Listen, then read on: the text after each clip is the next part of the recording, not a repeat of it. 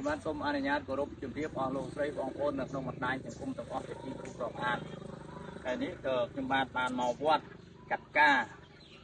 ដើម្បីជាប្រយោជន៍ដល់សាសនាយើងទាំងអស់គ្នាសួនច្បារបូជាប្រតនត្រ័យហើយនេះកាត់មែនតើណាអស់លោកអ្នកមិនមែនជាការសម្ដែងទេលោកណាបាទមិនមែនជាការសម្ដែងទេគឺថាកាត់ឲ្យបានស្អាតហើយមិនមានអីទេគ្រាន់តែថាចង់យកពីសកម្មទៀតហ្នឹងហើយ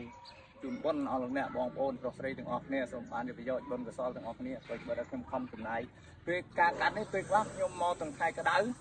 ហើយពេលខ្លះខ្ញុំមកទាំងភ្លៀងភ្លៀងក៏សនុកកាត់មួយយ៉ាងដែរព្រោះភ្លៀងវាសើមសើមសនុកកាត់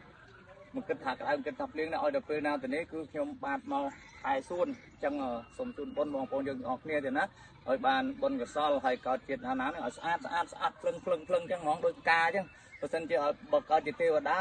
ក៏ទេវតាទៅបើកើតជាមនុស្សសូមមនុស្សនឹងមានរូបស្អាត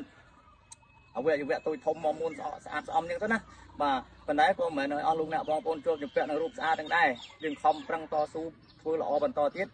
ឲ្យរួចចាក់ទូទាំងអស់គ្នាហ្នឹងហើយតែប៉ុណ្្នឹងទេសូមអរគុណសូមជូនបុណ្យសូមជូនពរសេចក្តីសុខរីចម្រើនអស់គ្នាហើយខ្ញុំកណាខ្ញុំបានមិនសូវចេះនិយាយទេនិយាយទៅជន់ជន់តែពាក្យសូមអរគុណសូមអរគុណ